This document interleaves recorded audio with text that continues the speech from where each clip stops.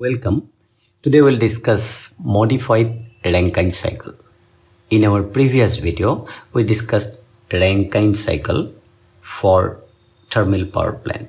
So in Rankine cycle or the cycle for the thermal power plant, there are four components. In this PV diagram, process 3-4 represents pumping process. Process 4-1 represents heat addition in the steam boiler. Process 1-2 represents the prime mover. It may be steam turbine or reciprocating steam engine. And process 2-3 represents condensation process in the condenser. If we do not consider this pump, condenser and boiler and only consider the engine part, the prime mover part, then that type of cycle is called Rankine engine cycle. And in Rankine's engine cycle, only prime mover is considered, not the whole cycle. So this pumping process, heat supply process and condensation process or heat rejection process will not be considered.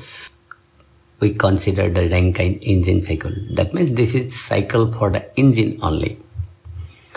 So in a steam engine, it is actually a reciprocating steam engine. In a reciprocating steam engine, steam is received at the high pressure. That means a high pressure, high temperature steam enters inside the cylinder and it pushes the piston from TDC to BDC and that is work done. And in the next stroke, while the piston moves from BDC to TDC, the steam is exhausted from the cylinder and that we call the rejection of heat at low pressure. So this is the process in a reciprocating steam engine. We'll consider steam engine as the prime mover. This is a PV diagram for a reciprocating steam engine without any clearance volume. We have not shown the clearance volume here. Process 1, 2 is expansion of steam inside the cylinder. Process 2, 3 is exhaust of the steam from the cylinder to the outside or to the atmosphere. And this process 4-1 is receiving of high pressure high temperature steam to the cylinder. So this is one cycle. And this cycle is called Rankine engine cycle so how the piston moves from TDC to BDC let us see at present the piston is in TDC position so it will move to the BDC position while the high pressure steam enters in the cylinder head. This way the piston moves from TDC to BDC and that is work done, PV work done. And this displacement is also called sweep volume or stroke volume that we have also discussed in our previous videos of reciprocating internal combustion engine. So this is the principle of a steam engine as a prime mover and we will consider this PV diagram for analysis. Now we will calculate the work done during one cycle of a Rankine engine cycle. So the cycle is 4, 1, 2 and 3 and these are the volume we call it volume V1 and V2. We all know that in a PV diagram the area under the curves represent work done during one cycle that is area under the curve represents work done per cycle. So if we can calculate the area of this PV diagram that means 4 1 2 3 4 this area then that will give us the work done during one cycle. So the area of the PV diagram is 1 2 3 4 1 that means this area we have to calculate and if we can calculate this area that means we get the work done during one cycle.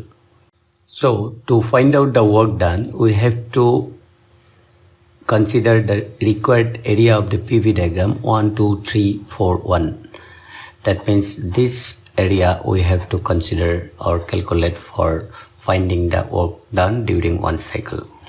So this required area is equal to that means work done is equal to um, area AB14 that means this area that is equal to A B 1 4 and 1 again. Then plus the area BC2 1B that means this area that is area BC2 1 and B again. And from this we have to deduct the lower rectangular area. So minus this rectangle that means area A C 2 3 and A again.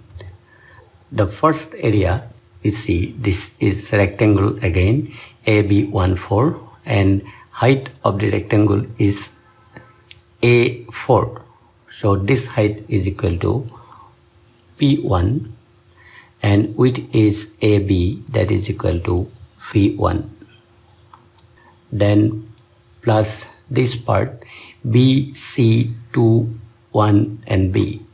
This curve is PV to the power gamma equal to C. That we assume that this is a reversible adiabatic process. And for any adiabatic process the heat transfer is equal to zero. So from first law of thermodynamics for non-flow process the expansion takes place inside the cylinder so there is no flow. So that if it is non-flow from first law of thermodynamics we get that work done W is equal to change in internal energy. Right the work done is equal to work done means area again. Area means work done and work done means area. So that area or work done is equal to u1 minus u2 because the internal energy changes from point 1 to point 2 then minus the lower rectangular area. And for this the height of the rectangle is a3 that is equal to p2 and this distance equal to v2 so this is v2 now from this if we consider this part and this part then we can write that is equal to u1 plus p1 v1 then minus within bracket this part u2 plus p2 v2 so what is u1 plus p1 v1 internal energy plus pv that is equal to specific enthalpy h1 that means enthalpy at point 1 minus h2 enthalpy at point 2 and this is actually we call it the heat drop during the expansion process or enthalpy drop, heat drop or enthalpy drop. So finally we get the work done in a Rankine engine cycle is equal to the heat drop H1 minus H2. So for that we have to calculate the enthalpy at point 1 and enthalpy at point 1 depends on the quality of the steam at point 1 if the steam is superheated or it may be dry steam or it may be wet steam. And for that we need the pressure P1 the saturation temperature TS1 and other conditions. Based on that we can calculate H1 from steam table. And for H2 also the pressure will be P2 saturation temperature TS2 and there will be some dryness fraction. From that we can calculate the value of H2 and thus we get the work done during a Rankine engine cycle. Now the efficiency of Rankine engine cycle, Rankine engine that is equal to the same formula that is work output divided by heat supplied. But in this case, if we consider the engine only, then there is no process called heat supplied. Heat is supplied in the boiler but that heat supply we have to consider and therefore the work output already we have calculated h1 minus h2 that means enthalpy at point 1 minus enthalpy at point 2 now what is heat supplied now h1 is the enthalpy at point 1 and that is total enthalpy at point 1 minus enthalpy of the water entering into the boiler and we assume that the enthalpy of the water inside the boiler was saturated water. So that enthalpy will be HF enthalpy of liquid or water at pressure 2 that means the same pressure P2 we only need three enthalpies enthalpy at point 1 enthalpy at point 2 and enthalpy of water at pressure P2 so from that we can calculate the efficiency of Rankine engine cycle. Now let us understand what is modified Rankine engine. This PV diagram is a PV diagram for a Rankine engine cycle. So the processes are 1 2 3 and 4 so this is TDC and this is BDC and you can see how piston moves from TDC to BDC this much length the piston travels from TDC to BDC and this is a very long distance traveled by the piston that we call the length of the stroke. Now in modified Rankine engine what is done? You see the process 1 2 1 to 2 is expansion process and the expansion is not continued up to point 2 but it is terminated at some point say this is the point 5 at which the expansion process is stopped or truncated or terminated by opening the exhaust valve. And if the exhaust valve opens immediately pressure reduces to this pressure at constant volume. And thereby there will will be loss of work done by this much amount. This is loss of work because the area under the curves represent the total work done. So now the work done become this much only. Some work is lost. But this is very negligible amount of loss which is actually sufficient enough to overcome the friction between piston and cylinder only. And what is the advantage is that the length of the stroke is now reduced to this point so this become the new BDC thereby the piston size is reduced and that is the advantage so this type of cycle in which the expansion is not continued till the end point but it is truncated or terminated at some point like say 5 and that type of Rankine engine cycle is called modified Rankine engine cycle. Now expansion is stopped at 0.5 and say this is 6 and this amount of work is lost. Now this area represents the work done by the cycle. Now you can see the TDC and BDC. Now the position of BDC is this one, not this much. So the piston moves only this much of distance from TDC to BDC you can see This way, the movement of the piston from TDC to BDC is reduced. Now let us see what is the work done by a modified Rankine engine cycle. In the modified Rankine cycle, this part will not be there because this is already truncated or terminated to decrease the length of the stroke of the piston.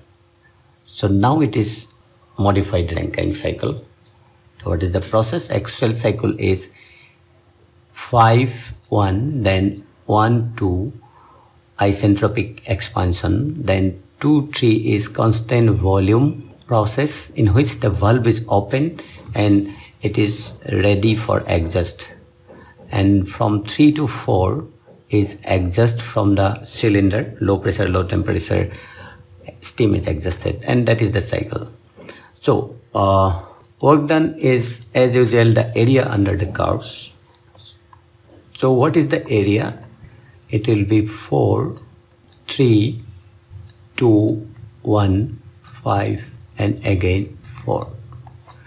So this whole area represents the work done during the cycle, modified Rankine engine cycle. This area is equal to this area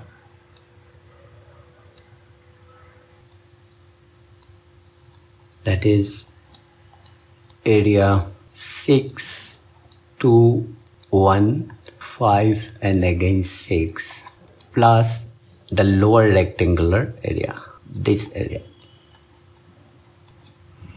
And we can write area 4 3 2 6 and 4 so you can see this upper area 51265 this area is actually the work done by a Rankine engine cycle and which is equal to H1 minus H2 that is the work done. Just now we have deduced the formula.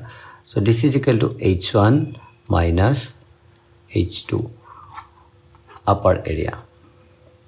Then plus the rectangular area. The rectangular area this distance is vs stroke volume or we can also say this is equal to v2 then pressure is this pressure minus this pressure. So it is equal to P2 minus PB multiplied by V2 this is the work done by a modified Rankine engine cycle. Uh, similarly we can calculate the efficiency of the modified Rankine engine cycle and uh, that is same the work output divided by qs. Qs will remain same but work output is will be this much. So this is all about modified rankine cycle. So thank you for watching